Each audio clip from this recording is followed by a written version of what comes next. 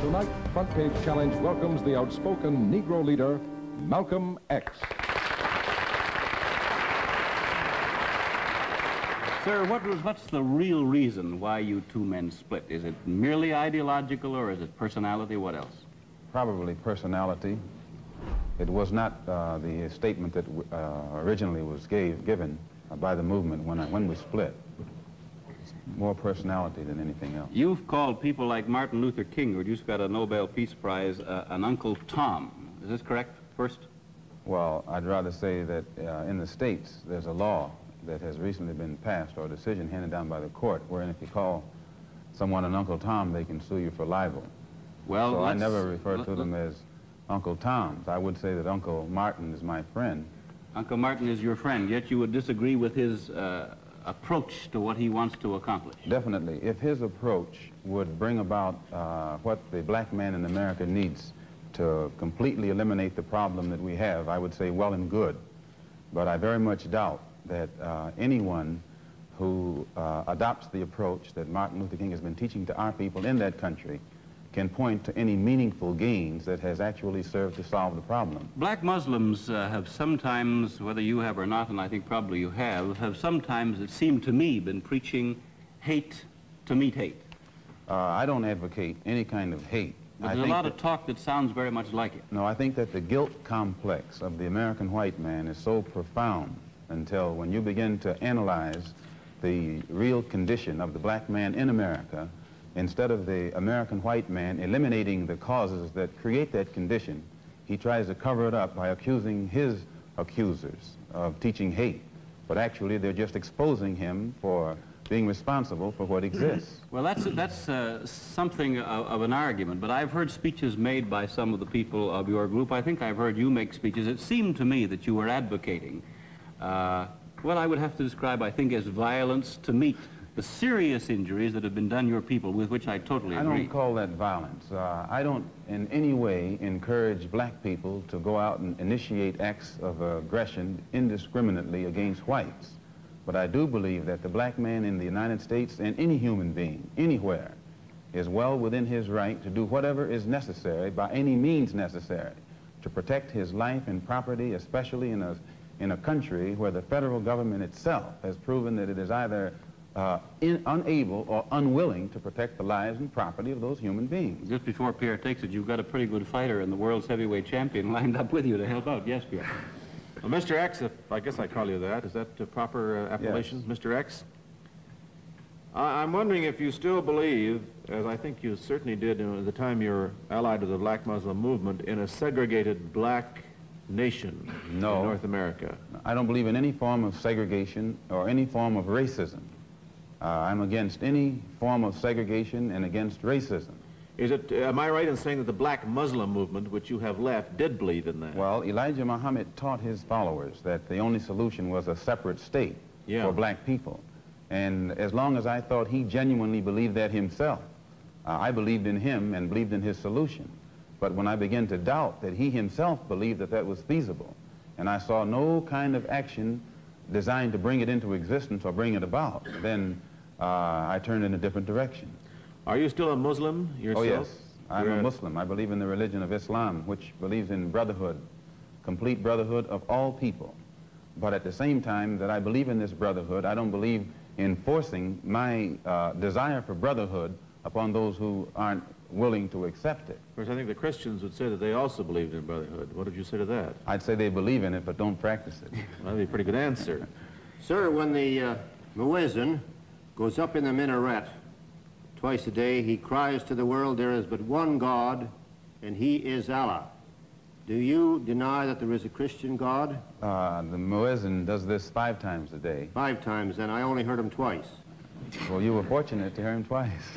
but he does this five times a day, and the same God that he says uh, that he expresses the existence of is the God that the Christians profess to believe in themselves, and the God that the Jews believe in, one God, the creator of the universe. The Muslims believe in the God that created the universe, and I think the Christians do, and the Jews do. Now, as long as all of them are talking about the creator, uh, the Jews may call him Jehovah, and Christians may have another name for him. Those who are Arabic speaking refer to him as Allah. Well, we believe in the same God. Now, as the Muslim religion advances in the United States, are you uh, modernizing it or, or sticking with the old faiths? For example, the complete segregation of the sexes. I think that everything today on this earth is being modernized. Uh, religious uh, principles and practices, as well as political and other, and other things. Now, when you went to Mecca, this is a very sacred and forbidden city. I tried to get to Mecca myself and certainly didn't make it, uh, not being a Muslim. But how would they accept you as one? You're an American. There are few American Muslims. This is true, and by being an American and not having uh, any not being able to speak the Arabic language, I did strike a snag, a very serious snag, but I was fortunate uh, to have been pretty well known by the officials in Arabia, and they knew too that I had uh, accepted Orthodox Islam. It had been highly publicized in the paper, and I became a guest of the state. I was a guest of who, of Prince Faisal, the present King Faisal, Faisal, and they made it possible for me to go before the committee, Hajj committee or Hajj court, who examines you and, and asks you questions about your belief. And if you pass it, then you are okay to go to Mecca. But you would true. have to have a translator then. Uh, oh, I had one. Then we, realizing that our problem in America, that we are black Americans, and we have a problem that goes beyond religion, we formed a group known as the Organization of Afro-American Unity. And the objective of this organization, it's non-religious, number one. Any Negro can belong to it. And the objective of, the, of that organization is to uh, bring about a condition that will guarantee respect and recognition of the Yo, what's up, brother? You know the Lord loves you, right? Yeah. You know we Israel, right? Chosen people. Yes. You believe that, bro? Yeah.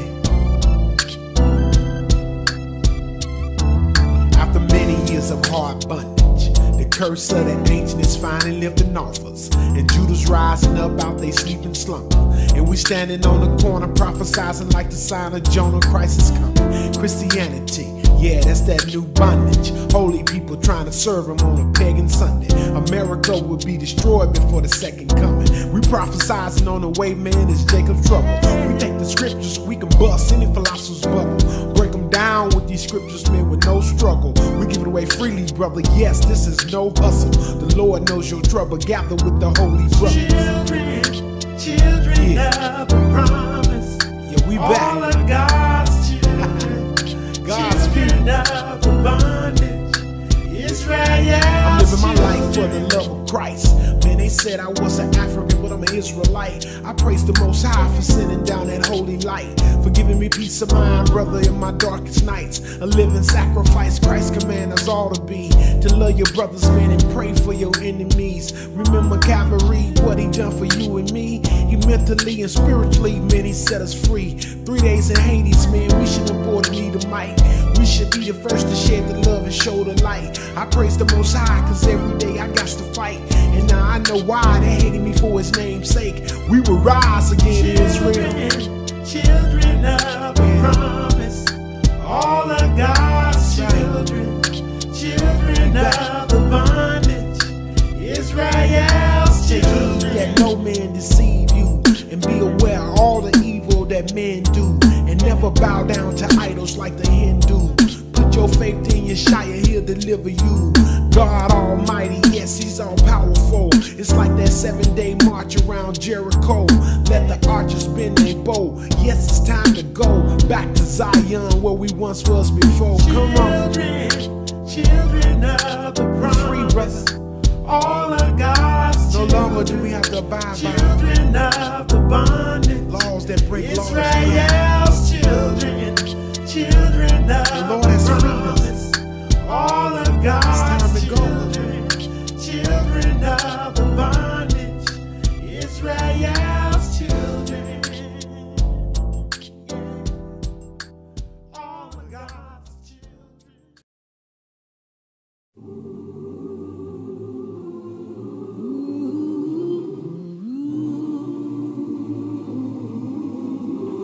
Oh no. Can't let nothing stop us now. Going through. Going through some way, somehow. We are gonna make it all through.